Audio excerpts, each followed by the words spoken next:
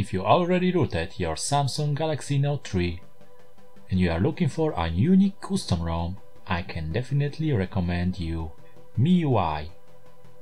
ROM after flashing you will no longer think about switching to another phone. I'm Marcin Wise and this is a review of the MIUI custom ROM for the Galaxy Note 3.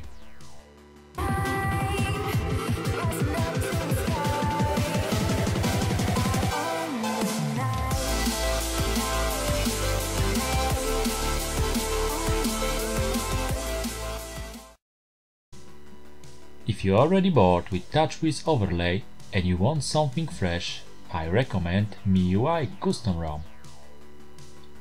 It is a soft, based on Android 4.4.2 KitKat, created by Xiaomi and originally designed for the Chinese smartphone.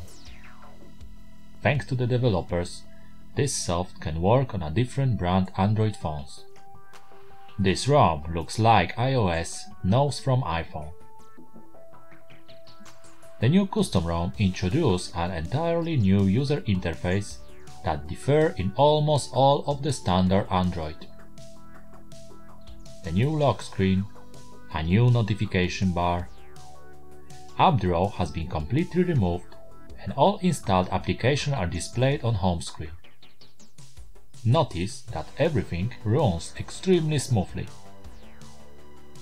There were also animated icons such as watch icon that shows the current time. Another is the weather where it displays the current weather without the need to enter the application, calendar that shows us the current date. It is also loads ways of customization. There are thousands of themes available in the store MIUI. Also, you can change the animation effects between desktops by adjusting your launcher to your preference.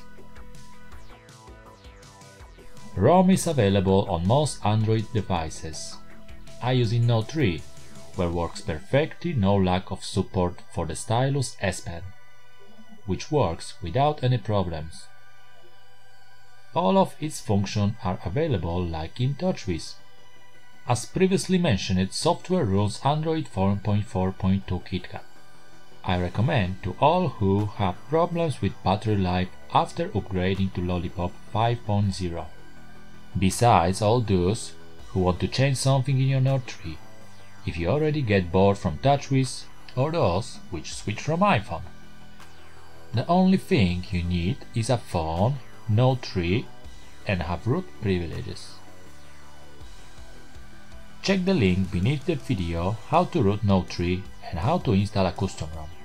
I also invite you to my blog where you can read step-by-step -step tutorial. I'm gonna play around to show you the most of the features of the software MIUI.